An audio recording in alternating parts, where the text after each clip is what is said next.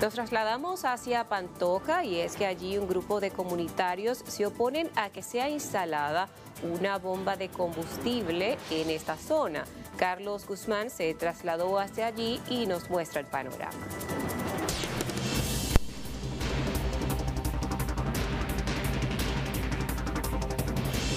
¿Cómo le está afectando esta estación de combustible que ya tiene algunos días o meses? Bueno, muy mal, porque yo tengo a mi padre que tiene 108 años, ahí mire, en ese cuartico, un por ejemplo, ¿para qué? Entonces eso se, se supone que tiene que hacerle daño.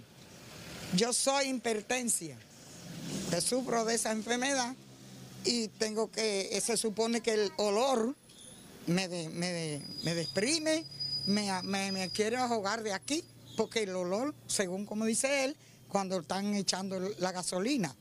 O sea que eh, cuando eh, precisamente el problema es cuando eh, llenan el pozo donde acumulan el, el A combustible. medianoche, ¿usted me entiende? A medianoche, a la una, a las 12, a las 11 y así por el tiro según llegue.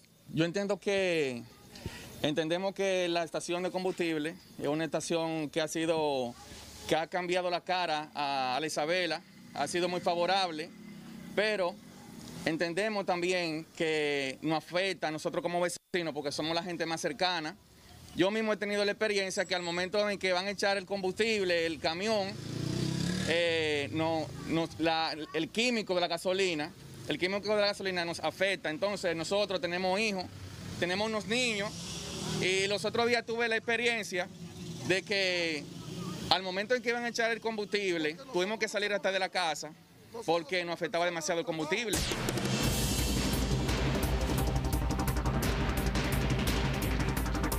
Cuando echan el combustible, sube unos gases horribles que me llenan la casa. Yo tengo dos niños que son asmáticos.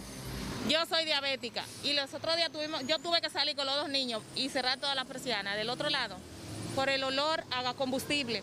Es bueno el progreso, pero no que afecte a los, a los que viven en el, a los que vivimos alrededor. Y entonces eso es lo que afecta. ¿Qué dice el dueño de la planta? No, a mí no me ha dicho nada porque yo no, he- yo no lo he visto, yo no lo conozco. Lo he visto así, nada más, no lo conozco. En realidad ha sido un avance para la comunidad, pero eso a los más cercanos nunca se nos llamó, se nos convocó una reunión, vamos a hacer eh, una planta de gas, eh, de gasolina, una bomba, no nada. Eh, supimos que compraron, eh, limpiaron y al final vimos eso que, que estaba ahí. La junta de vecinos supuestamente se metieron y como él le dio mucho dinero, se echaron a un lado, ¿entiendes? Pero él iba a comprar eso, que por eso nosotros aceptamos, mira esa casa es mía, que está en construcción ya, para plato. Y esto aquí, él dijo, esto es mío, porque yo lo voy a comprar. Pero yo he hablado con él, yo lo, lo he llamado y él dice, sí, yo lo voy a comprar, pero él no se aparece. Entonces no sé cómo fue que la cerraron, si fue de la Junta de Vecinos, que lo denunciaron o algo. Pero los más afectados somos nosotros, porque aquí es que nos da todo.